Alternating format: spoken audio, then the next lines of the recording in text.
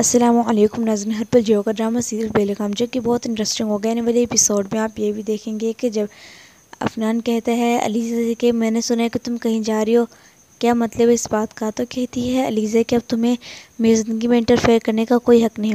अब तुम उसके साथ हो, उसी के साथ रहो।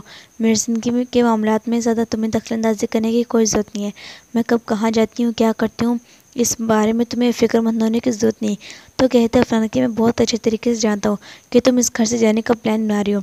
तो कहती है, अब अलीज़े के मैं जानती हूँ बहुत अच्छे तरीके से कि अब हमें रमशा इस घर में नहीं रहने देगी, क्योंकि वो हमसे बहुत ज़्यादा नफ़रत करती है और वो हमें इस घर में नहीं देखना चाहती।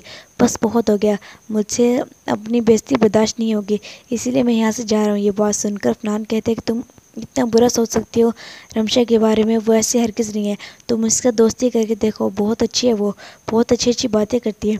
तो कहती है, निजे की ही बातें तो तुम्हें भी पसंद आई थी, जिसकी वजह से तुम उसकी मोहब्बत के जाल में फंस गए थे, और उसका ऐसे सलूक किया था। मुझे तुमसे इस बात की उम्मीद नहीं थी कि तुम्हारा भरोसा और तुम्हारा मन इतना कच्चा निकलेगा, तुम्हारी मोहब्बत इतनी कच्ची होगी। ये बात सुनकर कहते हैं, अफरान के मैं सिर्फ़ फर्जी तुम्हें ये बात समझाने जा रहा हूँ कि वो ऐसी नहीं है जैसे कि तुम मुझे सोच रहे हो, उसके बारे में समझ रहे हो। वो बहुत अच्छी है और बहुत अच्छा सलूक करती है सब लोगों के साथ। तुम्हें उसके बारे में इतने ज़्यादा नेगेटिव सोचने की कोई ज़रूरत नहीं। तो कहती है अलीज़े कि हाँ अब तो तुम मुझे ही बुरा कहोगे ना?